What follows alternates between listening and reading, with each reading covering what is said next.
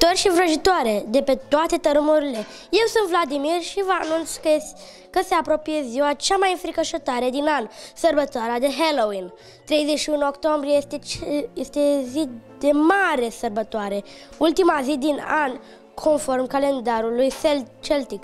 Azi e sărbătoarea recoltelor și a focurilor sacre. Tot de Halloween sculptăm dovleși și îi transformăm în felinare înfricoșătoare, iar cei mai mici se costumează în fantome, vrăjitoare și tot felul de monștri pentru a speria spiritele rele și pentru a reco- recoltele să fie numai bune de mâncat. Și nu uitați, copiii primesc tot felul de bunătăți și dulciuri pentru că este Halloween!